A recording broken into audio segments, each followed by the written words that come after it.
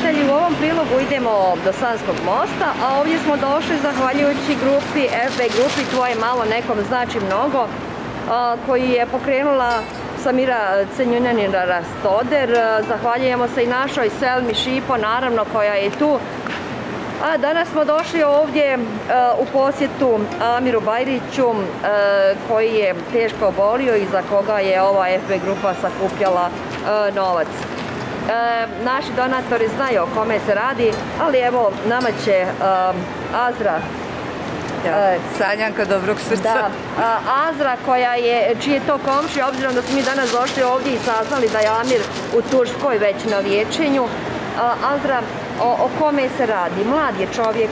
Da, Amir je naš sugrađanin, dijete našeg grada. E, trenutno se nalazi u Turskoj na liječenju. U pitanju je e, karcinom pankreasa, jedna jako teška bolest. Nažalost, operacija kao operacija je dobro prošla sa timom ljekara iz Turske, ali došlo je do tih nekih komplikacija gdje su bile potrebne znači još dodatna novčana sredstva.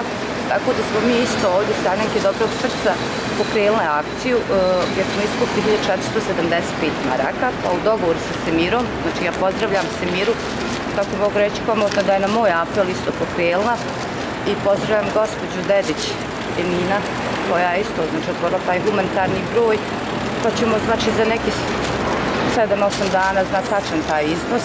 Ja mi ja znam da kod Semire znači ima taj... Da, evo e, da kažem da je e, grupa, FB grupa Tvoje malo nekom znači mnogo sakupila 15.000 kanadskih dolara.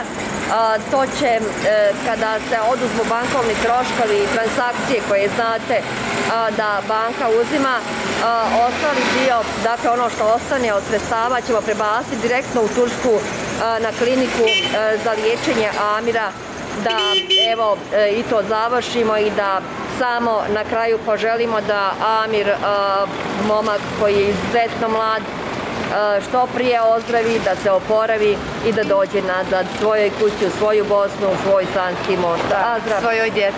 Da, Azra, e, hvala vam puno evo na pomoći, na, podršci. Danas smo došli ovdje, dakle, e, da se zahvalimo svima vama, svima donatorima. Vaše malo zaista nekom znači mnogo, jer sa onog malo koliko vi odvojite, nedavno smo uspjeli spasiti jedan mladi život. Naime, dječak iz Sarajeva za koga smo također sakupljali sredstva, za koga ste sakupljali sredstva u Turskoj na operaciji na samom stolu, dakle kada su doktori otvorili glavu onog trenutka se desilo da je nastao problem i sreća pa je to bilo na stolu pa je dijete preživjelo. Dakle, evo, zaista možemo biti ponosni na svaki fenin koji odvojimo i pomognemo nekome kome je pomoć neophodna. E, nažalost, često ti ide na liječenje, ali nadamo se da ćemo jednog dana, ako Bog da, vrlo brzo odvajati e, malo sredstava pa praviti fabrike i otvarati radna mjesta u Bosni i Hercegovini. Do tada, dragi moji, evo... Ja hoću samo još da se zahvalim, znači Budire u ime Sanjanki Dobrog srca, pošto sam ja koordinator na jednoj eto hediji od nas sanjanki, znači ovo je sanska papuča e, za neka bolja vremena. Da, ne radimo ovaj posao što radimo. Dragi prijatelji, dragi dobri ljudi, težak je ovo posao. Koliko god čovjek e, razmišlja e, da, radiš nešto dobro, ipak u životu postoji trenuci kad, je i nama teško. Kad treba izaći na teren, kad treba snimiti video prilog, ja ti želim, znači, papuča Sehara, naša Emira Talić koja radi, koja je išla ovaj, i za Dubaj, sanska papuča, mi je zovemo, da je uzdravlja nosiš. Ovaj, ovaj. papučice, pa ako Bog da kad dođe ljeto, svakako ću u papučicama da se šetam našom lijepom Bosnom i Hercegovinom. Jedan, znači uspomen, ja, se nadam, ja se nadam da ćemo jednom sjesti, onako razgovarati, neobavezno. Evo, e, poklona za oliko godina rada I hvala vam puno svima. Semira, hvala tebi, hvala Selmi, hvala, hvala za svaku tu marku, za svaki taj dinar. Svi vi, svi vi radite, znači zaradite teško taj svoj dinar. Hvala vam, jer bez, bez vas mi smo ipak ništa. Da, u svakom slučaju Bosna i Hercegovina i ljudi u Bosni i Hercegovini izuzetno teško žive. Dok se nešto ne desi na polju politike i ovih naših stoličara, mi moramo biti jedni uz druge i pomoći ovom narodu koji ne može pogotovo evo u ovo doba korone zaista izuzetno teško žive, teško je zaraditi dinar i teško je tražiti da neko sakupi koji fening za e, liječenje. Evo da se zahvalim i ja, da iskoristim priliku da se zahvalim i ja od srca vama, FB grupi, tvoje malo nekom znači mnogo, na donacijama koje ste sakupili za moju operaciju, operaciju očiju koja treba uskoro da uslijedi.